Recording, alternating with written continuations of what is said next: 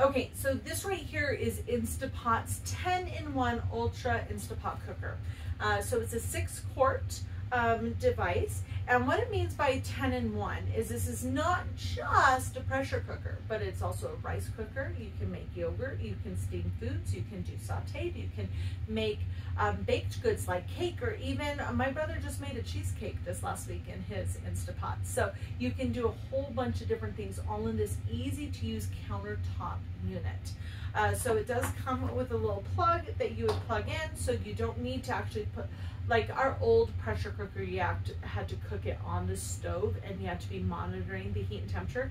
This does all of that for you. So it just makes everything so much easier and safer.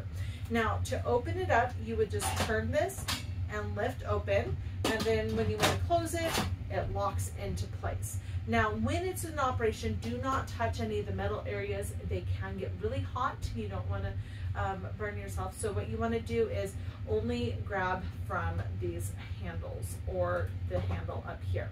Also, never put um, anything over this little um, release valve. This is where the steam comes out, releasing the pressure and the steam. So always grab from the front and not like from the back of your device. Now when you open it up, the inside pot is removable. Um, just be aware this gets really hot when it's cooking. Now, uh, some of the things to be aware of when you are cooking with your Instapot is when this right here is up, it means this is pressurized when this is up. So if you want to release the pressure, you'd push it down this would then allow that steam to go out. And so it can like um, cool down the pressure cooking setting a lot faster. Because if you naturally let it cool down and release pressure, it can take 10 to 40 minutes, if not longer. Um, but if you want to quick release it, then you just push that button down and it'll only take a few moments uh, to do that. Just make sure that nothing is over where the steam is released because you don't want um, to get hurt. Uh, it does come with a little, little rack right here. So that way if you're putting like a little baking dish or other things, or say you're cooking like a roast inside of here, you'd put the roast on here so it's lifted slightly off the bottom of the pot and then the broth around it. When you're doing pressure cooking especially, you do need to make sure you have liquids in there. And how it works is it pressurizes this device with a certain heat and it forces the liquid through the other food ingredients, which causes it to cook faster. It also locks in more moisture, flavor, and nutrients, which is really nice.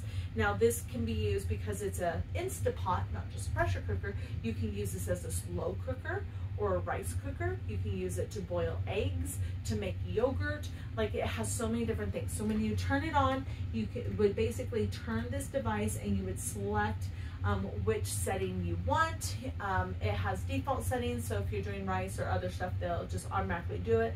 If you want to adjust the time and the temperature, you can manually put that in as well. So this pressure cooker does come with a recipe book to get you started so you can get used to just times and temperatures. It has a user manual, which also in the back has troubleshooting in case anything goes wrong. And then it has a quick reference guide for certain temperatures and other things if you're making yogurt, if you're making, you know, doing different things in here. Uh, just to give you an example, using my Instapot on my pressure cooker setting, I was able to take a family recipe for a beef stew that we normally cook in the slow cooker for six to eight hours, and I was able to make it in 11 minutes and I didn't have to monitor it. I didn't have to check the temperature or anything. I just put everything in here, turned it on uh, to the setting and let it go and then it was done.